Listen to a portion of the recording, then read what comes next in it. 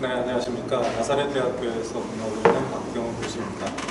어, 오늘 제가 그 발표드릴 내용은 어, 한국 고전 시가에서의 어, 문학성, 창작성에 대해서 어떻게 하면 객관적인 어, 방식으로 평가할 수 있을까 하는 그 방식에 대해서 생각을 해보고 거기에 대한 아이디어를 제시하려고 합니다. 어, 먼저 서론에서는 그 어떻게 연구를 설계했는지 간단히 말씀드리고요. 그 다음에 제 2장에서는 그 성강 정철의 시조 중에서 아홉 수를 가지고 간단하게 먼저 그 예비 어, 실험을 했습니다. 검토를 했고요. 그 다음에 그걸 가지고 좀 보완해서 제 3장에서는 정철의 시조 79수 전편에 대해서 예, 창작성 판단 지수를 적용한 결과를 도출을 했습니다. 자, 먼저 어, 서론을 보겠습니다. 문학 작품의 창작성 그리고 문학성을 지금까지는 어, 정성적인 방법으로 어, 판단을 했습니다. 즉 어, 문학 전문가가 어떤 문학 작품에 대해서 이 문학 작품은 굉장히 뛰어납니다. 라고 이렇게 선언을 해주시면 그러면 독자들이나 또는 많은 그 후배 문학인들이 이것을 따라가는 방식으로 했었죠. 그런데 저는 이것을 정량적으로 판단할 수 있는 방법이 혹시 없을까 하는 것을 좀 고민을 했습니다. 또 한편으로 우리가 고전 작품, 클래식이라고 하게 되면 아, 정전이라고 하는 어떤 이미지 때문에 어, 고전 작품은 다 훌륭한 작품이고 그리고 모든 각 작품이 정말 창작성이 뛰어날 것이다 라고 뭐 생각을 해요. 대부분 맞는 말씀입니다만 그것이 어떤 정량적인 방법으로 지금까지 제시된 적은 한 번도 없었던 것 같습니다. 자, 그래서 어, 송강의 시조의 문학적, 어, 문학적인 창작성 이것은 어떻게 개량할 수 있을지 저의 아이디어를 좀 말씀드리고자 합니다. 먼저 제가 모집단으로 설정한 시조는 역대 시조전서 어, 수록이 되어 있는 3천여 편의 고시조입니다. 그리고 그 중에서 송강시조 79편을 뽑았고요. 또 그 안에서 교과서에 수록이 되어 있는 9편을 따로 뽑아서 2장에서 먼저 실험을 합니다. 자, 그리고 이제 제가 그 어, 송강시조가 그 이전의 시조들을 어떻게 답습했는가 또 답습하지 않고 창안한 부분은 어떻게 되는가 라고 하는 것을 밝히기 위해서 운율 패턴이라고 하는 것을 기준으로 해서 그 이전 시조의 운율 패턴을 가지고 있는 것은 답습을 한 걸로 생각을 했고요. 그렇지 않은 것은 예, 창안한 것으로 판별을 했습니다. 또 이것을 그 계산을 좀 해야 되기 때문에 컴퓨터를 이용할 수밖에 없었는데요. 패선 프로그램을 이용해서 자소, 그러니까 아, 이제 그, 그죠? 어, 자음, 모음 요 층위에서 패턴풀을 분석을 했습니다. 우리 한국 고전 시가에 보게 되면은요, 그 시조의 종장 척구에 그 관용구로 많이 쓰이는 것들이 있습니다. 뭐 아이야, 뭐 어즈버, 두어라 뭐 이런 것들이 있죠. 그런데 이제 여기에서 조금 더 확대해서 보게 되면 그것이 그 한 초장이면 초장 정체 또는 거기에 어 앞부분이나 또는 뒷부분에서의 어떤 패턴이 발견되기도 합니다. 이 부분에 대해서는 아직 연구가 좀 부족한 편인데요. 저는 이러한 이제 패턴구를 가지고 답습이냐 창안이냐라고 하는 것을 좀 판단을 어, 해봤습니다. 그리고 그 더 나아가서 그, 그 답습의 정도를 수치화하는 방안, 그 수치화했을 때 우리가 어떤 요소들을 더 생각을 해야 되는가 하는 부분을 어, 배워드리려고 합니다. 이 창작성 판단지수 산출에 필요한 요소들이 여러 가지가 있을 텐데요. 크게 보게 되면 이것을 관습적인 요인, 창작적인 요인으로 구분할 수 있을 것 같습니다. 먼저 관습적인 요인이라고 하게 되면 제가 방금 설명드렸던 이 패턴인데요. 이전 작품에 나왔던 어떠한 구절, 더 나아가서는 문형이죠. 그래서 이러한 문형이 이전 시대에 나왔고 또 한 번 더 나왔을 때 그것을 패턴구로 정의를 했고 그것을 관습적인 요인으로 어 제가 분석을 했습니다. 자, 창작적인 요인은요. 이거는 그 이전의 시조에서는 전혀 쓰이지 않았는데 이제 새롭게 뭔가를 만들었어요. 그리고 그 만든 것이 이 작가가 한 번 쓰고 다시는 사용되지 않은 거, 아, 그것은 어, 패턴구가 아니기 때문에 제가 창작적인 요인으로는 그 잡지는 않았고요. 그거보다는 어떤 그런 것이 나중에도 이제 후대에서 계속 쓰이게 되는 것 이런 것들이 굉장히 의미 있는 창안구라는 생각이 들었습니다. 자, 그래서 시조가 이제 초장, 중장, 종장이 있는데 이것을 전 훅으로 나누게 되면은 모두 여섯 개의 구가 됩니다. 여섯 개의 구 중에서 어, 디에 창작적인 요인이 있는가, 또 어디에 관습적인 요인이 있는가라고 하는 것을 어, 수량화 시킬 수 있었습니다. 그 다음에 창작성 지수에 고려해야 될 사항 중에 어떤 게 있냐면요. 어, 구와 구를 단순 비교하는 것도 있지만 사실 구와 구 사이의 연결 또 장과 장 사이에서의 연결이 어, 또 그것이 크게 보게 되면 거시적인 하나의 패턴이 될 수 있거든요. 그래서 저는 패턴구를 장을 기준으로 장 내 패턴과 장 외 패턴으로 이대별해서 봤습니다.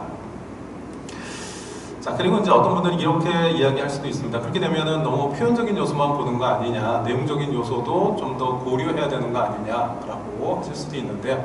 이 내용적인 부분에 대해서는 정말 많은 논의가 이루어지고 나서 나중에 정리하는 작업이 가능하기 때문에 일단 제 연구에서는 배제하고 어, 진행을 했습니다. 자 그리고 어, 이제 고전 시간은 옛 한글로 되어 있기 때문에 우리가 이제 일반적으로 쓰는 UTF-8 가지고는 이 코딩이 안 되더라고요, 잘. 그래서 UTF-16으로 구축이 되어 있는 것에 그 자소 단위의 검색이 가능하도록 자체 검색 프로그램을 만들었습니다. 그래서 그것을 이용해서 어, 송강가사 성주번 소재의 79편의 시조를 대상으로 어, 조사를 했습니다. 어, 네. 그래서 이제 그 글자가 조금 깨졌는데요. 이게 그 아홉 수의 시를 먼저 제가 추출을 했고 이 아홉 시의 아홉 수의 시조는 아, 교과서에 중고등학교 교과서에 실린 이제 시조들입니다. 그래서 그 시조들을 대상으로 어, 이 부분을 어, 분석을 했습니다. 먼저 그 첫 번째 작품을 보시게 되면 이제 송성사인데요. 이것이 종장에서 패턴구가 발견이 됐습니다. 어, 평생에 고쳐 못할 일이 이뿐인가 하노라라고 하는데요. 여기서 보면 이제 뭐뭐 인가 하노라라고 하는 것이 시조 종장에서 많이 사용되는 패턴구입니다. 그리고 이러한 패턴구를 이제 역대 시조 전서 전편에서 검색을 해보면 300편 이상이 나오더라고요. 그 중에서 11건이 정철보다 이른 시기에 나오게 됩니다. 이렇게 되면 정철이 이 시조를 쓸, 썼을 때 적어도 앞에 시조들 10편 이상을 참고해서 그것을 어, 모방하는 방식으로 그렇게 창작을 했다라고 볼 수가 있죠. 자, 그래서 그 송성사의 초장과 중장은 송강이 창안한 표현구이면서 동시에 후대에도 전승되었고 또 어, 종장은 이, 이전 시대 그 시조의 표현을 가져옴으로써 전체적으로 관습적인 표현과 창의적 표현 간의 조화를 이루었습니다. 그래서 앞서 정의한 창작성 판단지수를 적용을 하면 여섯 구 중에서 한 구에서만 답습구가 발견되니까 창작성 판단지수는 83.3%다. 이렇게 단순화시킬 수 있어 있습니다. 그다음 송성 사무실 같은 경우에는 그 초장의 패턴구가 아, 발견이 됐습니다. 내 마음 버여내어 별 달을 만들고저 해서 보게 되면 뭐뭐하여 뭐뭐고저라고 하는 이것이 하나의 패턴구가 되거든요. 그래서 정철 그 이전의 시조에 이미 이러한 패턴구가 사용이 됐었고 정철이 이것을 어, 차용을 해서 썼다라고 볼 수 있습니다. 그래서 창작성 판단 지수는 초 어, 초장의 전후구가 답수구가 되기 때문에 에, 나머지는 이제 창안구고요. 그래서 66.7%로 어, 산출이 됩니다. 자, 송성 46 같은 경우에는 어, 이것은 이제 종장의 패턴구가 있습니다. 어, 초장과 중장 같은 경우에는 이제 창안구라고 할 수 있죠. 네, 종장에 보시면 아이야, 뭐뭐 하였다 하여라 라고 하는 이런 표현이 있는데요. 이 표현은 그 이전에 강익이라고 하는 분의 시조의 종장에서 그 같은 표현을 어, 찾을 수가 있습니다. 자, 이런 식으로 그 이전 시대의 시조에 나왔던 어떤 패턴을 어, 끌어다 쓰는 거, 왜 현대적으로 보게 되면 이것을 그 패러디라고 할 수 있겠죠. 그렇죠? 그래서 어, 이런 이제 패러디의 방식으로 그렇게 많이 썼는데 이것이 지금 현대문학의 관점에서 보게 되면은 상당히 부정적으로 평가할 수 있지만 우리 고전 문학에서는 이것이 하나의 문학적인 관습이었습니다. 그래서 이제 고전 시가라고 하는 것에 한정 두고 봤었을 때는 이 부분이 좀 예, 인정되는 것 같아요. 그래서 이 작품의 창작성 판단 지수는 66.7%로 산출이 되었습니다. 송성 14 같은 경우에는 이제 위의 시조와는 좀 다른 패턴을 가지고 있는데요. 이것이 이제 장과 그러니까 초장과 중장 사이에 같은 문형이 반복함으로써 하나의 유형을 만들어냅니다. 자 이것을 구 단위나 장 단위로 해서 그 이전 시조하고 비교해서 보게 되면 아, 이것이 패턴군가 아닌가 잘 안 보이거든요. 그런데 이것을 초장 중장 또는 중장 과 또는 어, 종장 이렇게 그 장과 장 사이에 같은 것이 반복되는 것을 어, 찾아보니까 상당히 많은 수가 검출이 되었습니다. 자, 지면 관계상 여기서는 간단히 몇 개만 어, 보여드립니다. 자, 이제 이런 식으로 어, 그 창작성 판단 지수를 어, 보게 되면 초장과 중장이 그 이전에 있었던 그 시조들을 흉내낸 거기 때문에 그 부분을 빼고 종장만 독창적이다라고 보게 되면 어, 창작성 판단 지수는 33.3%라고 할 수 있습니다.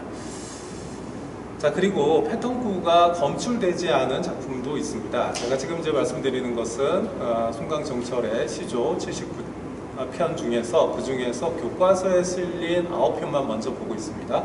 그 중에서 어, 네 수는 패턴구가 어, 발견이 됐었고 그 다음에 나머지 이제 다섯 구는 패턴구가 발견되지 않았습니다. 그러면 창작성 판단 지수는 이때는 100%라고 할 수 있죠. 자, 조금 더 이제 나아가서 지금 이제 여기 표에 정리되어 있는 것은 뭐냐면요.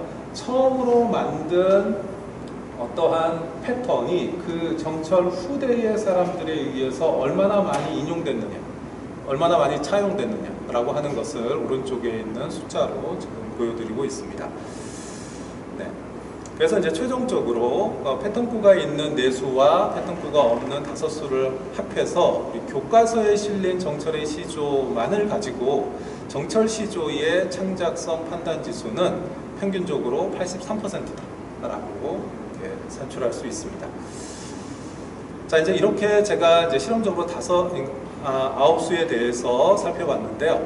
그 과정에서 나타난 문제점이 몇 가지가 있었습니다. 먼저 아, 창작성 판단 지수가 문학 작품에 대한 평가와 동떨어져 있다는 점입니다. 단순히 이전 패턴을 답습했는가의 여부만을 가지고 새로 창안한 표현에 대해서 창작성을 부여하는 방식이기 때문에 새로운 표현이 곧 창작성이 뛰어난 것, 문학성이 뛰어난 것이라고 하는 오해를 발생시킬 수가 있습니다. 둘째, 개별 작품의 창작성 판단 지수와 별개로 전체 작품의 창작성 판단 지수가 추가되어야 작가의 창작 성향을 파악하는 데 도움이 될 수 있습니다. 세 번째로 출판 여부, 출판 횟수, 교과서의 수록 여부 등 현대문학 작품들의 영향력을 평가하는 지수들이 있거든요. 그러한 지수들을 활용해서 객관적인 지표에 반영해야 이것이 어 조금 더그 보완되고 수정된, 교정된 그런 창작성 판단 지수가 되지 않을까 하는 생각을 했습니다. 마지막으로는 백분율 방식이 주는 착시 효과 때문에 창작성 판단 지수가 고시조 학습자에게 오해를 불러일으킬 수 있다는 점입니다. 예를 들어서 100%다 라고 하게 되면 이것이 해당 작품이 완벽하다 라고 하는 의미로도 오해할 수 있기 때문에 다른 산출 방식으로의 변경이 필요했습니다. 자, 그래서 저는 이제 정철의 시조 전편, 평시조 전편에 대해서 확대해서 어, 지적을 했는데요. 이 중에서 이제 제가 아, 그 새로운 지표로 산입한 것은 이제 두 가지입니다. 하나는 아, 이것이 얼마나 이본이 있느냐라고 하는 것. 그 다음에 또 하나는 어떻게 교과서에 실렸느냐 실리지 않았느냐 라고 하는 것을 가중치를 부여하는 방식으로 그것을 어, 좀 교정을 했습니다. 자 이제 이 표는 그 시조가 얼마나 많은 이본을 가지고 있느냐 이제 이본의 수라고 하는 것이 영향력이 될 수 있겠고 그 다음에 이본이 많다라고 하는 것이 많은 사람들이 그 창작성과 문학성을 어, 아주 일정 기간 동안 인정해 왔다라고 하는 거니까 그래서 이러한 이본 수를 어, 지수 속에 반영을 해야 된다고 생각을 했고요 일람으로 조사한 것을 어, 보여드립니다. 자, 그래서 제가 간단한 그 창작성 판별 지수 산출 공식을 어, 고안을 했는데요. 어, 간단하게 소개드리면 이렇습니다. 이 총 문헌의 수 분의 수록 2본의 수 그러니까 어, 3천여 편의 시조가 실려 있는 총 문헌의 수는 125입니다. 그 중에서 각각의 한 시조의 2본의 수를 분자로 하고요. 거기에다가 1 더하기 교과서 등재 여부를 가중치로 집어넣습니다. 그래서 이것을 하나의 카테고리로 하고요. 그 다음에 두 번째 카테고리는 제 2장에서 했던 것처럼 전 작품 내의 총 구수분의 창항 부의 구수를 집어넣고 다시 이 전체를 100으로 해줬습니다. 이렇게 되면 어, 뭐 200점 이하로 해서 이제 그 창작성 어, 판단 지수의 결과치가 아, 나오게 되죠. 네. 그래서 이제 여기에 그 대입된 값들은 수록 2번의 수, 교과서 등재 여부, 또 창항부의 구수 이런 것들이 들어갔고요. 총 문헌의 수는 125로 상수로 들어갔고, 그 다음에 작품 내의 구수, 총 구수도 6으로 상수로 대입을 했습니다. 자 이렇게 수정된 창작성 지수를 지금 이제 맨 오른쪽에 있는 숫자가 수정된 거고요. 오른쪽에서 두 번째에 있는 칸이 기존의 제 2장에서 제가 했던 그 기준으로 만든 기존의 창작성 지수입니다. 이것은 송강의 모든 그 평시조에 대해서 다 적용을 한 거고요. 그래서 이렇게 79편까지 다 한번 분석을 해봤습니다. 아, 그런데 이제 79편 중에는 사실은 송강의 작품이 아닌데 후손들의 착오로 들어간 것들도 있거든요. 63번과 64번, 75번인데요. 이것을 빼고 79수의 평균 창작성 지수는 88.1이었습니다. 예, 그래서 어, 상당히 예, 높은 어, 점수가 나왔습니다. 자, 이것을 그 기존의 창작성 지수와 아, 수정된 창작성 지수를 좀 이제 그 그래프로 어, 제가 만들어 봤는데요. 여기서 보라색으로 된 것은 수정된 아, 그래프고요. 연두색으로 된 것은 기존의 창작성 지수입니다. 조금 그 높낮이가 상당히 달라졌죠. 그래서 이것을 어, 코사인 유사도 분석을 해보니까 어, 이거 같은 경우에는 음, 상당히 좀 그 두 개 통계치가 유사한 패턴을 가지고 있는 것으로 이렇게 나왔고요. 유클리드 거리 예, 측정을 해보니 139.14가 나왔습니다. 그러니까 이거는 이제 그 거리가 상당히 좀 컸는데 이것은 두 통계치 간의 거리가 상당히 좀 이제 멀리 떨어져 있다. 그러니까 큰 패턴을 따라가면서도 어, 그러면서도 값에 있어서는 상당히 좀 보정이 이루어졌다라고 하는 것을 아, 알수 있었습니다. 네. 그래서 고전 시가가 가진 관습성은 많은 작품에서의 관용구를 탄생시켰습니다. 현재 관점에서 고전 텍스트는 식상한 수사로 점철된 재미없는 작품으로 느껴질 수도 있습니다.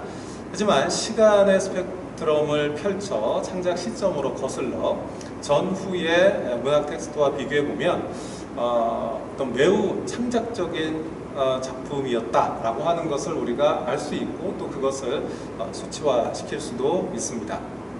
본 연구에서는 그런 창작성을 구체적인 판단 지수로 전환하는 방식에 대해서 모색하였고 또그 어, 예시를 보여드렸습니다. 예, 끝까지 들어주셔서 감사합니다.